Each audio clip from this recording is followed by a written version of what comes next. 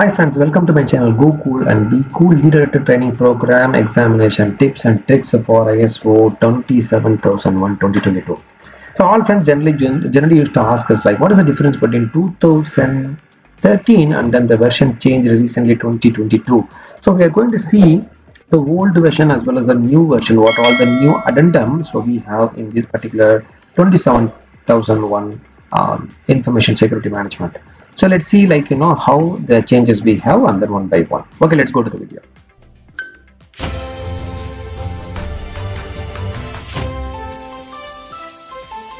Yeah welcome back.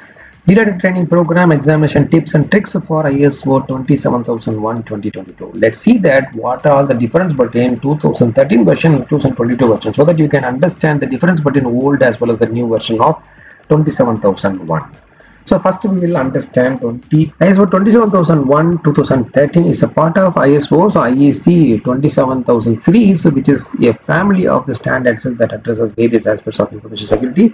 It provides a comprehensive and then holistic approach to managing information security covering areas such as risk assessment, security policy, asset management, access control, incident management and then business continuity.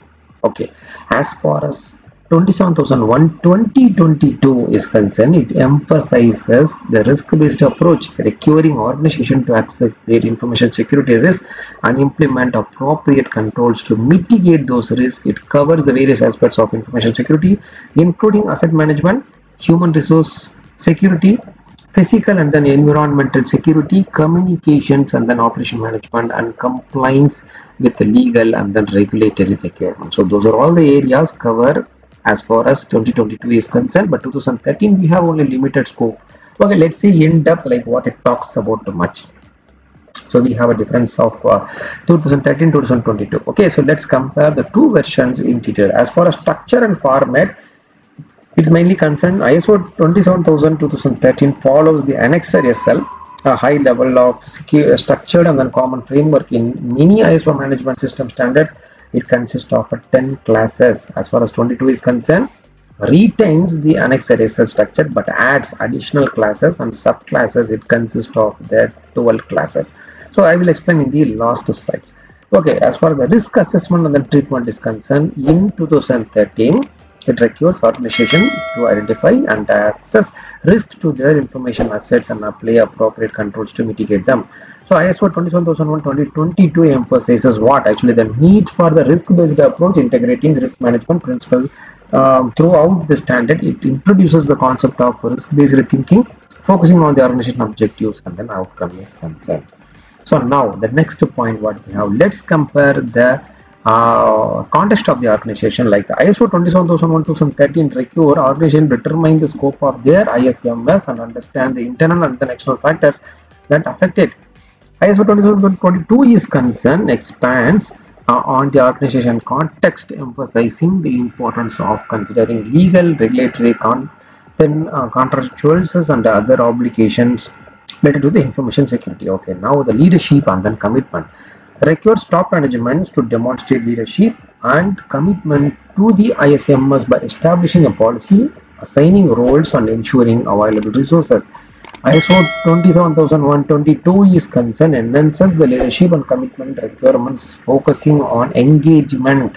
That is a very important thing of top management and their active involvement in the ISMS. Okay, next one planning. What it requires organization to define objectives and develop plans to achieve them considering the results of the risk assessment. As far as 2022 is concerned, expands on the planning requirement, emphasizing the need uh, to identify opportunities and integrating information security into organization processes. As far as support is concerned, 27001 2013 covers the requirement for resources, competency, awareness, communication, and then document information. So in that maintains these requirements but adds additional guidance on managing information and knowledge. Final operation 27001 2013 focuses on implementing controls and processes to manage risk and protect information assets.